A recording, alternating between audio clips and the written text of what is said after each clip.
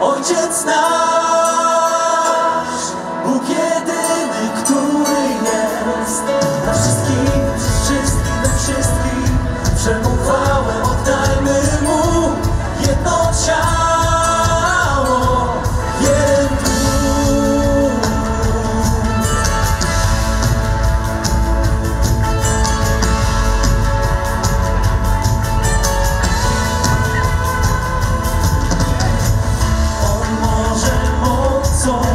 To jest wspaniała literatura, bo na przykład tutaj no, mamy ostatnią publikację Benedykta XVI, wydaną po śmierci, zgodnie z jego wolą. Testament duchowy, no, mamy wspomnienia właśnie tylko, prawda, y, jego sekretarza osobistego, ale mamy też książkę, y, mamy y, błogosławionego mm, Akutisa, patrona młodzieży, który no, Przed Lizboną jak znalazł. Dokładnie, dokładnie. Patron e, Światowych Dni Młodzieży. Yy, mamy książki o księdzu Dorindo.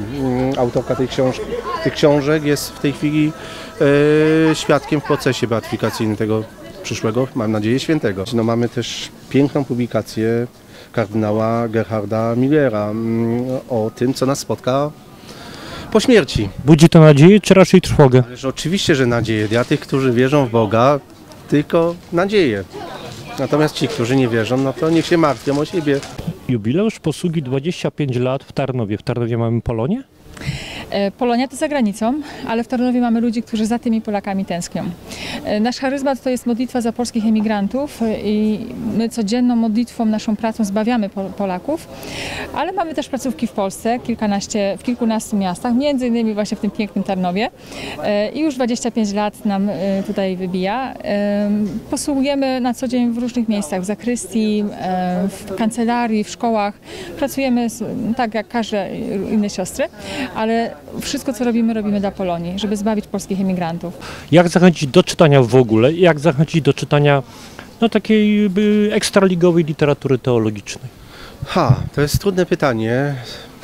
Obawiam się, że musimy troszeczkę zmienić sposób życia, bo obawiam się, że właśnie to, że wszystko mamy w internecie podane na talerzu, takie proste, cyfrowe życie, zabija troszeczkę prawdziwą literaturę. Yy, Tak widzę po, po dzieciach, że, że, że ja pamiętam moje czasy 30 lat temu, e, jakie były kolejki w bibliotekach po książki, jak e, trzeba było zapisywać się na, na pewne pozycje, żeby wypożyczyć. No ale wtedy też nie było telewizji powszechnej, internetu, więc albo się grało w piłkę, albo się czytało, prawda? No teraz mamy takie czasy, dziwne trochę, ale ja mam nadzieję, że to się zmieni. E, Mam nadzieję, że to się zmieni, że jednak e, doszliśmy chyba już do takiego poziomu mm, kryzysowego, że, że, że już gorzej nie może być i że to się musi zmienić, bo no po prostu nie, nie możemy na drzewo wracać, prawda? Bo to chyba tak wygląda w tej chwili, że no właśnie, bardzo się stajemy prymitywni, Przy, przynajmniej niektórzy, prawda? Którzy książki do ręki nie biorą. Książka pachnie, książkę się czyta, książkę się dotyka, tego nie ma komputera i nie ma klawiatura. Dokładnie, nie ma nic bardziej przyjemnego jak usnąć z książką przy poduszce, prawda? No bo mi się tak zdarzało czasami.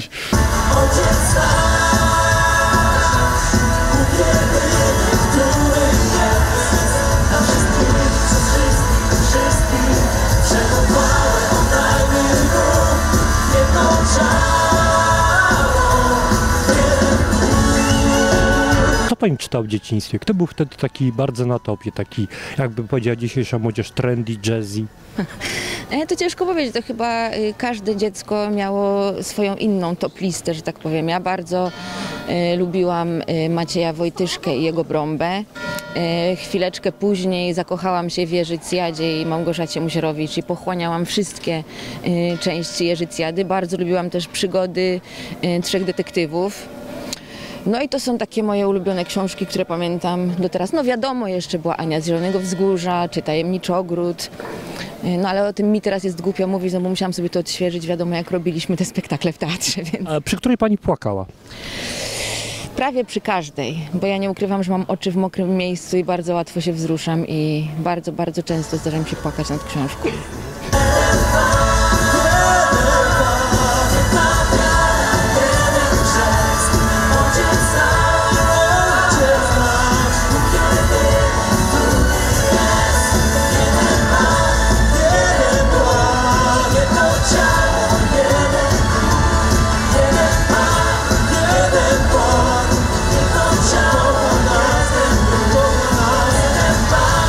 Ostatnio mam takie szczęście, że przeczytałem same dobre książki. E, Gdy jeszcze była w produkcji, przeczytałem książkę Cztery przygody z legendą. Co się z historią zna. Jest to oczywiście nowość dzisiaj promowana e, i właśnie ostrzegam, że e, ta książka, a także książka właściwie, którą też ostatnio zakończyłem lekturę, jest to książka bajki, opowieści i legendy mariackie do, pani doktor Ewy Czaczkowskiej.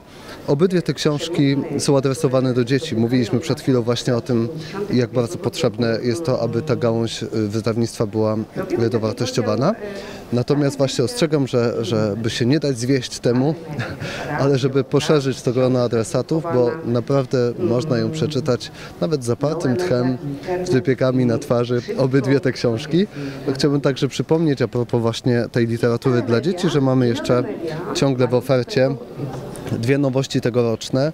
E, Jest to Kwiat Paproci w języku polskim i w języku ukraińskim i Stół Nadziei pani e, Agaty Gierczyńskiej-Jonik, która przed chwilą e, miała na scenie swoje 5 minut zaprezentowania tej pozycji. I myślę, że wszyscy wyszliśmy z tego, z, z tego spotkania właśnie przekonani, że warto sięgnąć po tę pozycję. Skrom, skromną, ale wartościową. Czyli bierz i czytaj, jak mawiano w starożytności. To lelega.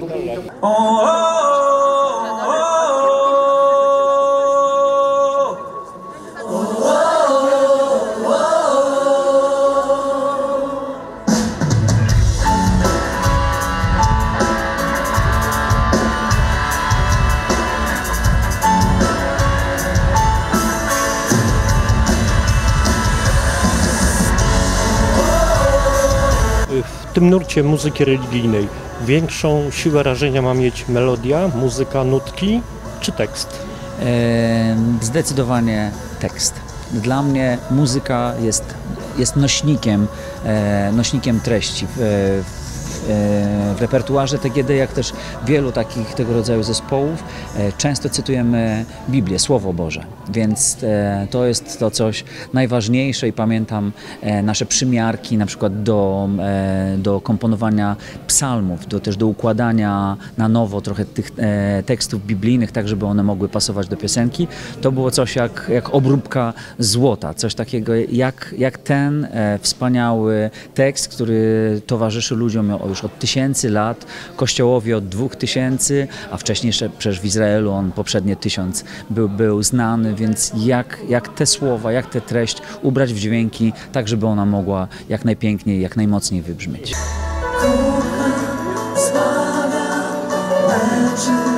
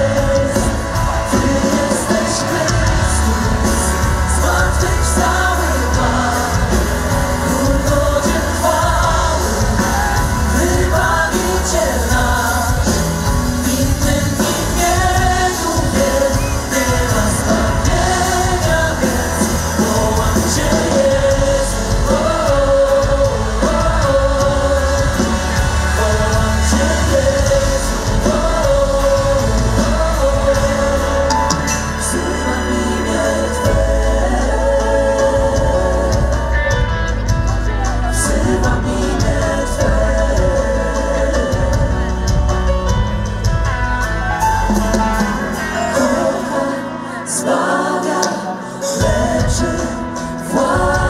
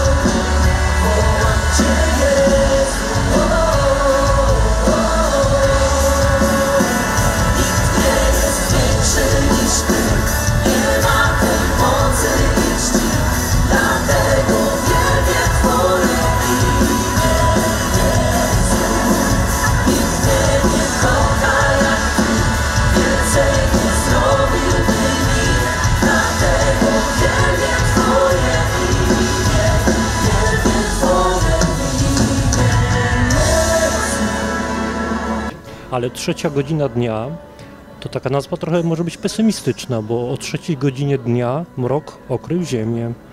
E, Nie zupełnie, zależy jak się patrzy. To trzecia godzina dnia e, to jest e, cytat z dziejów apostolskich. Trzecia godzina dnia, czyli dziewiąta rano.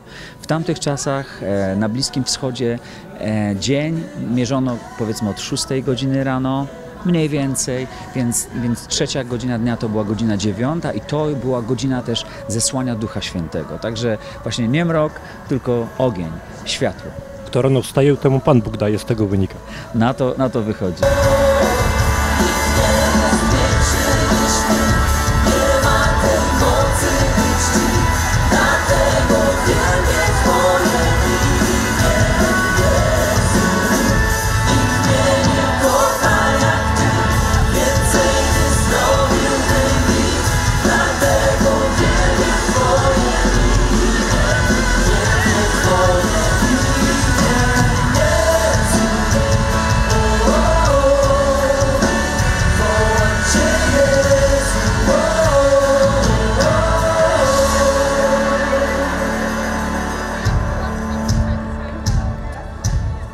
Oddajemy chwałę Jezusowi nie tylko z tego powodu, że znamy Ewangelię.